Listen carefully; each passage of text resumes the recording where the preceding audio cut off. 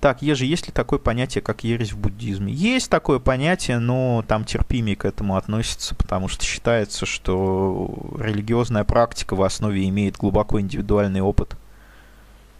Поэтому там, там нету такого, что... Ну, то есть там разные были периоды, то есть обычно, знаешь, представители разных течений буддизма, они друг на друга агрились только когда речь шла о эм, политической власти. То есть, грубо говоря, какой-нибудь король Тибета выбирал, как, какое из течений буддизма будет там главным. Да, и тогда начиналась конкуренция, тогда действительно они там брали в руки палки и начинали друг друга мутузить, мутузить этими палками.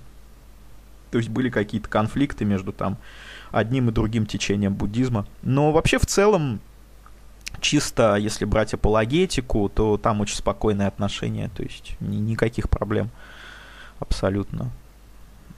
То есть, ну, ди диспуты они ведут, безусловно, для того, чтобы выяснить, у кого там более правильное понимание буддизма. Но так, так чтобы там, знаешь, убивать кого-то, что вот ты инакомыслишь, и ты еретик, типа, мы тебя убьем, такого нету.